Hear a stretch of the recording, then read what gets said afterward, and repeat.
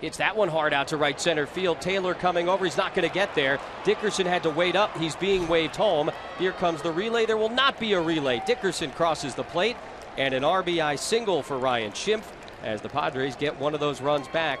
Now a 5 4 game here in the fourth. That'll do. And Ryan Schimpf continues to hit the ball hard consistently.